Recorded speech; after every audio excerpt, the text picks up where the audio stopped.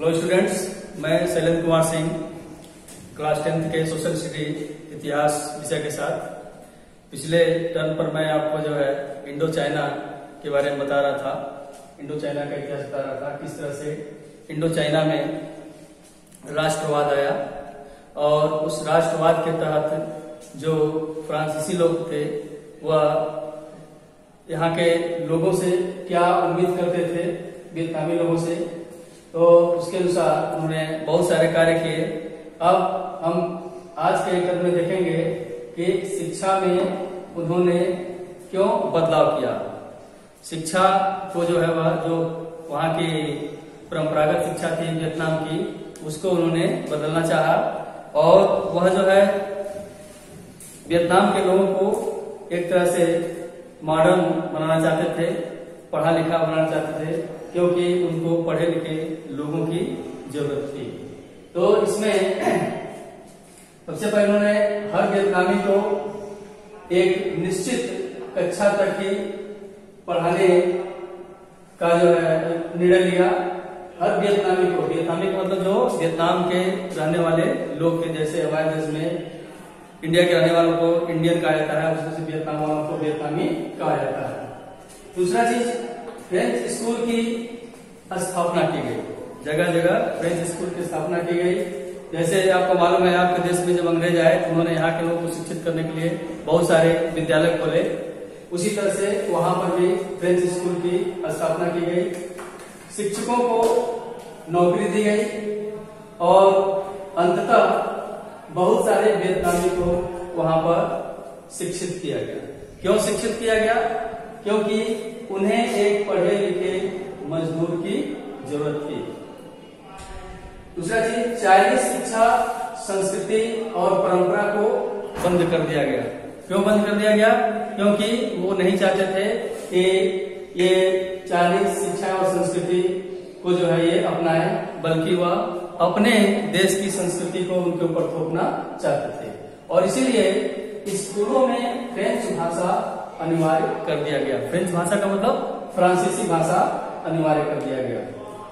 एक नए कानून के तहत भी फ्रांस की संस्कृति को अपनाया, उसे फ्रांस का नागरिक बनाया गया। मतलब जो भी फ्रांस की संस्कृति को अपनाया, उसको फ्रांस का नागरिक बना दिया गया। इस प्रकार बहुत सारे लोग फ्रांस के नागरिक बना दिए गए, लेकिन कुछ विद्यार्थियों ने इसका विरोध करना शुरू कर दिया। क्योंकि सभी लोग इस कानून से या इस बदलाव से, इस परिवर्तन से सहमत नहीं थे। अंतोगत्वा बहुत सारे विद्यार्थियों ने इसका विरोध करना शुरू कर दिया और वहाँ की जनता ने भी जो है उसका विरोध किया। स्कूलों में विरोध के स्वर शिक्षकों और विद्यार्थियों द्वारा पाठ्यक्रमों का विरोध किया गया, क्योंकि जो भी पाठ्यक्रम थे, वह जो है उनके देश की जो शिक्षा थी या जो उनके देश की जो संस्कृति थी, परंपरा थी, उससे मेल नहीं खाता था, इसलिए उन्होंने उसका विरोध शुरू कर दिया। गलतियाँ निकाल कर विरोध किया गया। गलतियाँ मतलब उस पाठ्यक्रम में क्या गलती थी, क्या कमी थी, क्या खामी थी, उन सब चीज़ों को जो है दिखाया गया। इसके अतिरिक्त 1926 ईस्वी में एक घटना भी जो है घटी। क्या घटना घटी? यह घटना एक तरह से जो है नस्ल पर आधारित थी और उसमें जो है, एक कक्षा में बैठने वाली वियतनामी लड़की को, एक छात्रा को जो है, उसको पीछे बैठने के लिए कहा गया। और यह बात उस वियतनामी छात्रा को बहुत ही नागवार लगा, बहुत ही खराब लगा और उसने जो है, पीछे बैठने से मना कर दिया और वह जो है, क्लास छोड़ करके बाहर चली गई। तो यह घटना जो है, क्या कहते हैं Saigon native girls high school में जो है घटी थी। इसके अतिरिक्त साफ़ सफ़ाई, बीमारी और रोज़मर्रा का प्रतिरोध, ये अगला टॉपिक होगा हमारा। और हनोई पर प्लेग का हमला किस प्रकार हुआ? प्लेग जो एक प्रकार की बीमारी है। नेक्स्ट पढ़ेंगे साफ़ सफ़ाई, बीमारी और रोज़मर्रा प्रतिरोध। हनोई पर प्लेग का हमला। हनोई, पहले जान लीजिए, हनोई क्या है? हनोई, ये वियतनाम की राजधानी है। और प्लेग का हमला, प्लेग एक बीमारी है जो चूहों से फैलती है। और हमारे देश में भी अंग्रेज़ों के जमाने में बहुत ज़्यादा प्लेग की बीमारी हुआ करती थी। फ्रांस के लोग वियतनाम को मॉडर्न वियतनाम बनाना चाहते थे। इसके लिए राजधानी हनोई का पुनः निर्माण किया गया। मतलब जो भी उसके पुराने स्ट्रक्चर थे, उसको बदला गया। यहाँ पर बने मकानों को आधुनिक बनाया गया। मतलब हर सुविधा से उसको लैस किया गया। साथ ही साथ हर मकानों में नियमित सीवर सुविधा लगाई गई सीवर सुविधा मतलब जो घरों से गंदा पानी निकलता है, उसको निकालने का इंतज़ाम होता है। नियमित सीवर सुविधा लगाई गई, जिससे घरों के सारे गंदगी को नदी में बहाया जाता था।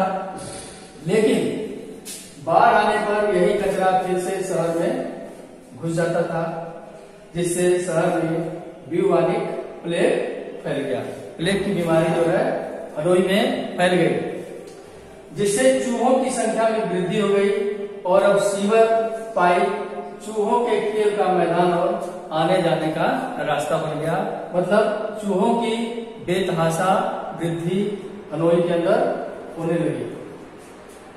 इसके बाद आगे सरकार के सामने ये बहुत बड़ा समस्या था। उसने जो है चूहों का धरपकड़ करवाया, किस तरह से जो है चूहों को, चूहों से निजात पाया जाए। उसके लिए उसने एक व्यवस्था बनाई। चूहों को पकड़ने की प्रक्रिया 1903 में शुरू की गई। अतः वियतनामियों को कहा गया कि वे चूहों को मारे। और चूहों को मारने के लिए प्रोत्साहित किया गया और इसके तहत यह निश्चित किया गया कि जो वियतनामी जितना अधिक से अधिक चूहा पकड़ेगा, उसको उतना अधिक से अधिक पैसा दिया जाएगा। अब वियतनामियों के दिमाग में एक ट्रिक आया और उन्होंने इस ट्रिक पर काम करना शुरू कर दिया। जैसे कि ये एक घटना भारत में हुई थी अंग्रेज़ों के जमाने में, दक्षिण भारत में एक समय में बहुत ज़्यादा ब्लैक कोबरा जो है बढ़ गए थे। तो उन ब्लैक कोबरा को रोकने के लिए जो है सरकार ने, उस समय की अंग्रेज़ सरकार ने एक व्यवस्था की कि जो जितना अधिक से अधिक कोबरा पकड़ के लाएगा, उसको उतना पैसा दिया जाएगा। लेकिन लोगों ने इसको जो है एक तरीका बना लिया और लोग ब्लैक कोबरा पालने भी लगे। और पाल पाल करके जो है लोग लेकर के वहाँ पर पहुँचते थे। और जब सरकार को पता चला तो उसने उस व्यवस्था को बंद कर दिया। कुछ इसी तरह का काम जो है, वियतनाम के अंदर भी जो है, वियतनामी जनता करना शुरू कर दी। और उन्होंने एक नियम बना लिया कि चूहा पकड़ा, पूछ काटा और छोड़ दिया। क्योंकि सरकार ने तो ऐलान कर दिया था कि आप जितना पूछ लाएँगे, उतना ज़्यादा आपको जो अभी मैं आपको बता रहा था कि किस तरह से वियतनाम में चूहों को लोग पकड़ते थे और उसका पूछ काटते थे और फिर उसको छोड़ देते थे। तो ऐसा वह लोग इसलिए करते थे, केवल फ्रांसीसी सरकार को छकाने के लिए या उनको परेशान करने के लिए। लोग एक तरह से चाहते थे कितना अधिक से अधिक जो है फ्रांसीसियों के अर्थव्यवस्था को चौपट किया जाए। इसलिए वो ऐसा करते थे।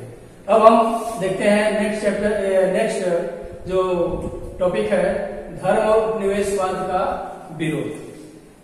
फ्रांसीसी सैनिक ताकत के बल पर सभ्यता और संस्कृति को भी बदलना चाहते थे और इसका जो है, वियतनाम के अंदर लोग विरोध कर रहे थे, क्योंकि फ्रांसीसी सरकार के द्वारा लगभग तीन लाख लोगों को जो है, ईसाई बना दिया गया था। इसलिए लोगों को बहुत ज़्यादा डर था कि हमारी सभ्यता, संस्कृति और जो हमारा बौद्ध धर्म है कन्फ्यूशियस धर्म है, यह धर्म बहुत जल्द समाप्त हो जाएगा। तो इस वजह से लोग जो उसका विरोध कर रहे थे। अठारह में विद्वानों का विद्रोह हुआ।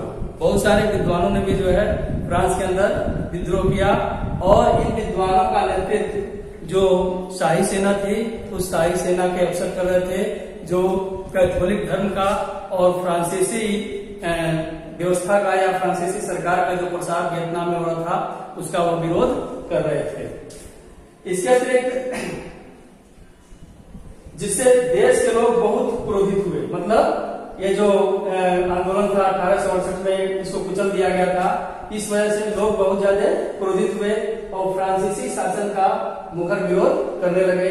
अतः उन्नीस में एक और आंदोलन शुरू हुआ और इस आंदोलन का नाम होवा हाउ था क्योंकि आप जो है इंडो चाइना का इतिहास पढ़ रहे हैं, इसलिए इसमें जो है आपको बड़े ही अजीबो गरीब नाम आएँगे, नाम थोड़ा टेढ़े होंगे, जिनको आपको याद रखना पड़ेगा। तो गोवा हाउ था जो इस आंदोलन का नाम, और इस आंदोलन के जो संस्थापक थे, हु इन फुसो? Who in फुसो? ये जो है कंजर्वेटिव माइंड के थे, पुरातन विचारों वाले थे और पुरातन विचारों के ये पोषक थे। और इसके साथ साथ यह जो है, बालिका बधुओं की जो खरीद फरोख्त होती थी या अफीम को, शराब को जो वियतनाम के अंदर बढ़ावा दिया जाता था, उसका यह जो है बहुत ज़्यादा विरोध कर रहे थे। और इसी के लिए जो है यह आंदोलन चला रहे थे। और इनका आंदोलन वियतनाम के अंदर बहुत तेज़ी के साथ जो है फैल रहा था। और इसका बहुत ज़्यादा प्रचार प्रसार हो रहा था। और बहुत लोकप्रिय हो रहा था और एक खुद जो है बहुत लोकप्रिय होते चले जा रहे थे। इस आंदोलन को कुचलने के लिए फ्रांसीसी सरकार ने प्रयास किया और फ्रांसीसी जो थे उन्हें पागल गोंजे कहते थे मतलब उनको पागल घोषित करना चाहते थे। और उनको पागल घोषित करने के लिए उन्होंने क्या किया कि एक डॉक्टर नियुक्त किया। और उस डॉक्टर को नियुक्त करके इनको जो है खुशों को पागल खाने भेज दिया गया और जब वह पागल खाने चला गया तो उनके देख रेख में, क्या कहते हैं, उस फ्रांसिस डॉक्टर के देख रेख में वह रहने लगे। लेकिन वह इतने ज़्यादा अपने भाषण से या अपने विचारों से उस डॉक्टर को प्रभावित किए कि वह डॉक्टर भी जो है एट लास्ट उनका अनुयायी बन गया।